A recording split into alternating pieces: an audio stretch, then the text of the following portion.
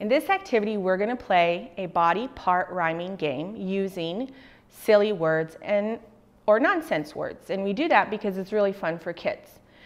So what the teacher's going to do is first introduce, tell them we're going to play a rhyming game, and the teacher will touch a part of their body, and instead of saying the actual word, they'll say a nonsense word or a silly word. So for example, I would say, look boys and girls, I'm touching my Ted.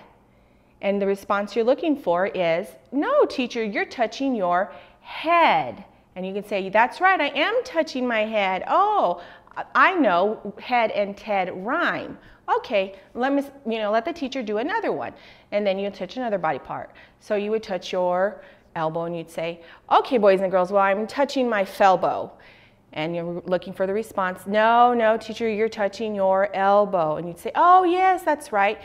I'm touching my elbow. Elbow and felbow are rhyming words. And then you can do a variation after you've had practice with the kids several times. And you can say, now I'm going to have you help me play the game. And so what you would do would say, tell them to all stand up or sit, however you want to do it. And you could say, I'm going to say a silly word or a nonsense word. And you're going to have to make a match to your body, the word that rhymes.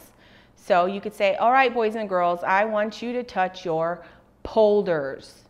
And they're going to have to think of a body part that rhymes with polders. So you're looking for a physical movement.